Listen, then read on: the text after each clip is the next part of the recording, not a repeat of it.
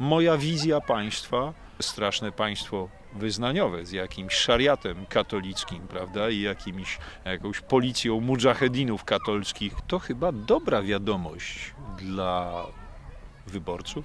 E, Popieram i pochwalam to wszystko, co e, się dzieje w związku z przemysłem narkotykowym i w związku z użytkowaniem narkotyków. Broń mnie, Panie Boże, żeby zepsuć domy publiczne. Ja wyraźnie deklaruję, skąd się wziąłem. Z nierządu. Nie może być tak, że jestem gorącym zwolennikiem ścigania młodzieży szkolnej.